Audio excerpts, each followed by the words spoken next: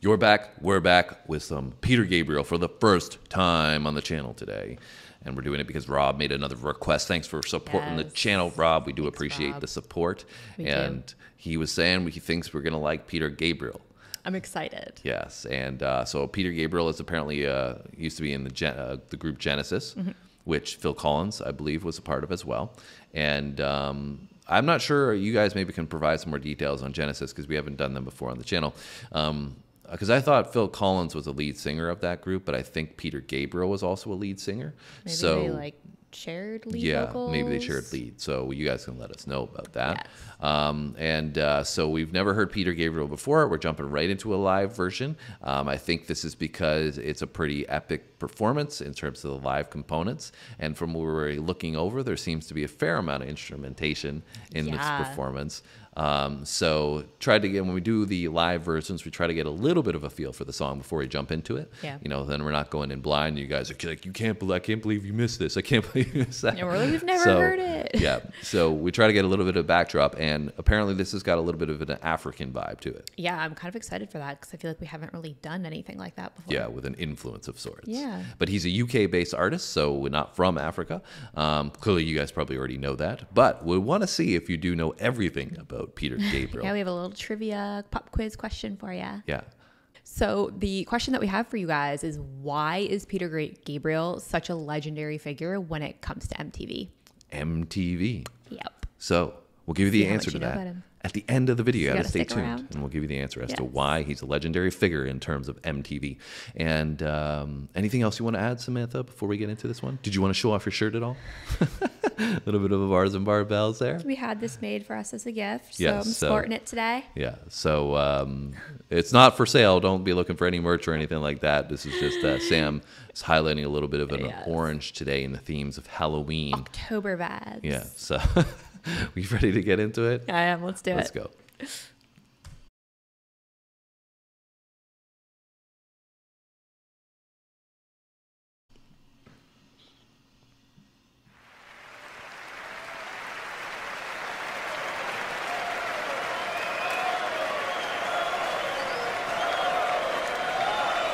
It's rowdy already.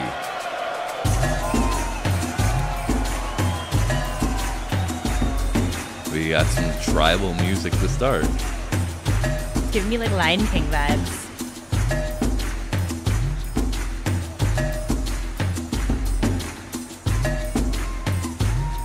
I like this.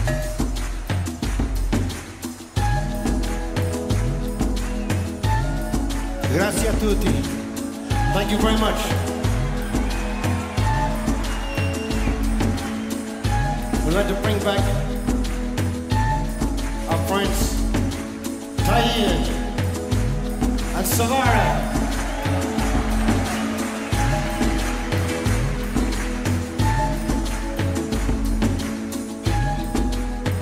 Accepting all I've done and said.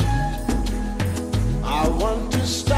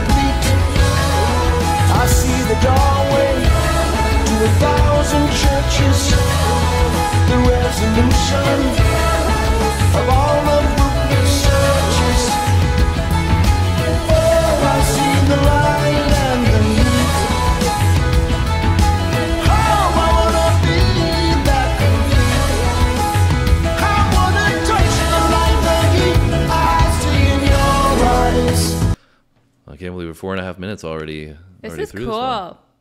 I really like the backup vocals. Clearly, clearly you like this one. Yeah, I feel like it's just like a la la la. It's um, it's really really cool. It's got a great vibe to it.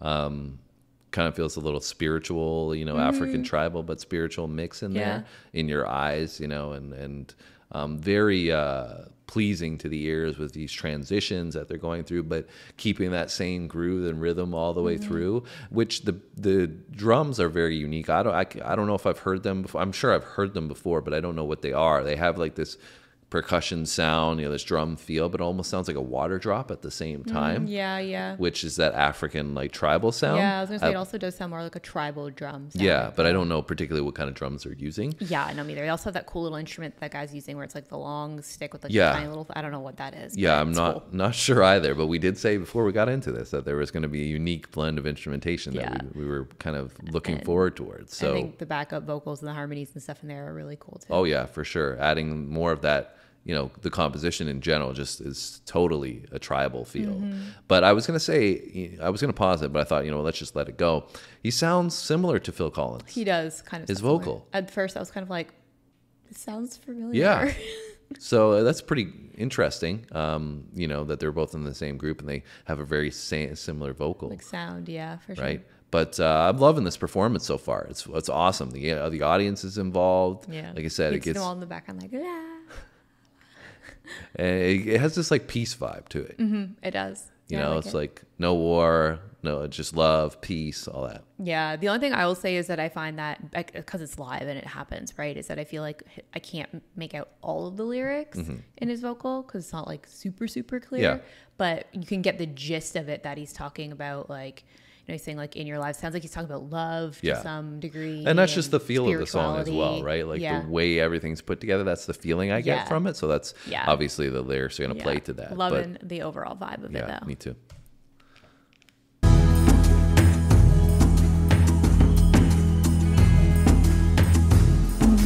and our friend Taïa.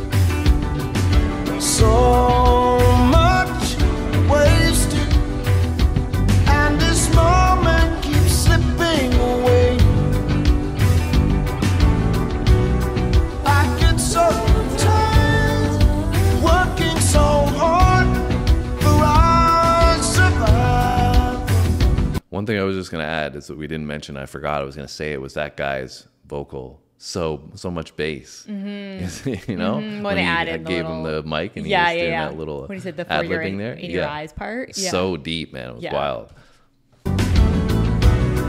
I look to the time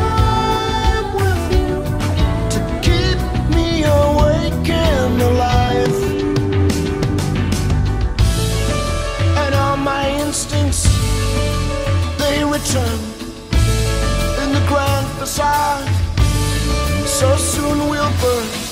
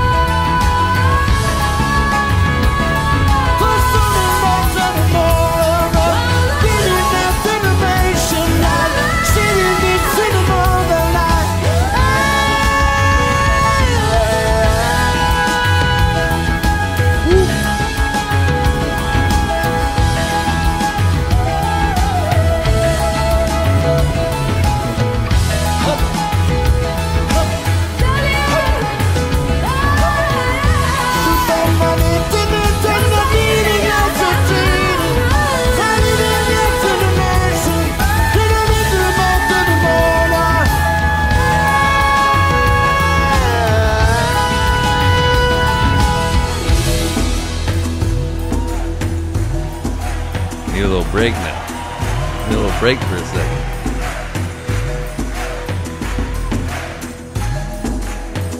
Accepting all I've done and said. I want to stand and stand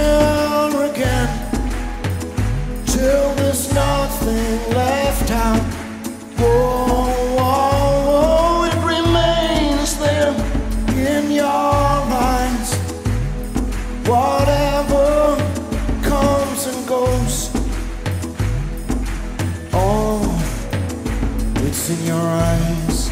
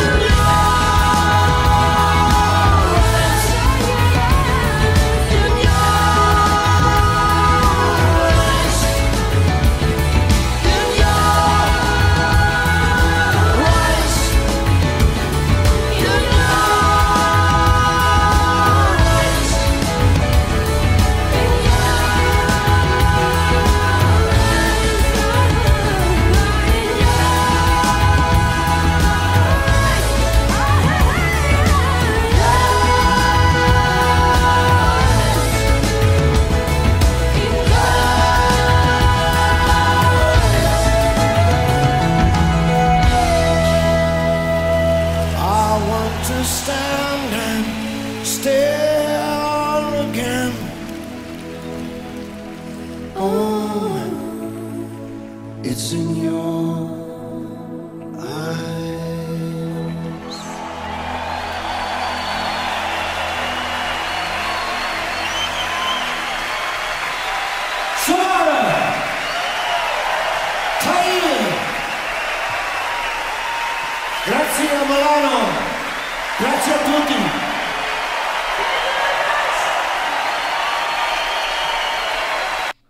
What a fire composition. That was so cool. Like very different, I feel like, than anything else that we've done. It was like an African symphony. Yeah, it was really cool. And, you know, they even added some of those elements like with their dance in there. Nothing like crazy orchestrated dance moves, cho- mm-hmm. choreographed dance, dance moves, I should say. But, you know, it had that whole, that feel all the way through. So much instrumentation. Like I saw the multiple areas of, you know, they had keyboards here and keyboards here. And, you know, at the end they, they had, you saw that they had multiple layers of keys. You had multiple guitar players. You Yeah, had multiple, different drums. yeah, multiple backup vocalists. Yeah. So Lots of depth. so much depth in that and it was so well put together such an awesome performance the audience was so engaged they were Yeah, such, loving like, it such high energy. Yeah, and you know, clearly he did make mention of you know some of the religious aspects, like the church and stuff like that as well. Um, you know, in your eyes, how you're seeing things. Yeah. Um, so it was such a great performance. Peter Gabriel Yeah, I love really, that. really came through on this one. Yeah, it was really cool. Yeah, and uh, did you have a favorite part throughout? Did you enjoy anything in particular, like the backup vocals, the you know any components of you know the middle portion, back end? Did you enjoy more? Yeah, I think I really liked the backup vocals. I thought that was really cool, especially with like the female backup vocal, and then they brought in, like you said, the deeper kind of bassy voice sometimes too. I mm-hmm. also really liked when that guy did his. I don't, I don't know what the instrument was, but his solo with that instrument because it's like kind of like how you would have a guitar solo, but it's Yeah. not a guitar. So that was kind of interesting to hear a different sound in a solo like that. Yeah, and I don't know what that was, but you guys oh, can let us know. cool. We can now. I want to know what it is. Yeah, we can now let you know about that trivia question that we popped to you in the beginning of the video. And uh, the question was, why is Peter Gabriel known as a legendary figure when it comes to MTV? Yes. And The it's answer because. Would you like to give him the answer? No, Do you want me to gonna, I was putting okay. you on the spot to give the answer. right. The answer is his video for Sledgehammer is the most viewed video on MTV of all time. All time. So it's the most popular video in MTV history, Sledgehammer. So I think it won like eight MTV uh, Video Awards, and um, like I said, it's been really renowned. So Which I have not seen it. yeah, we didn't even know who Peter, Peter Gabriel was before we got into this one, and um, he's you know one of the most popular figures in MTV history. So uh, learned something new. We did. Hopefully, Yeah. you guys may have as well. Hopefully, you enjoyed our reaction. If you did, you know what to do already. Hit that like button. Thank you so much as well, Rob, for that recommendation. Yeah, it was awesome. It was very unique. Great, great artistry for sure. Really impressive. So I appreciated that quite a bit. Yeah, me too. All right, that's it. All you got to do from now is hit the subscription button, notification bell, and see us in our next video. Thanks for watching, guys. See you next time.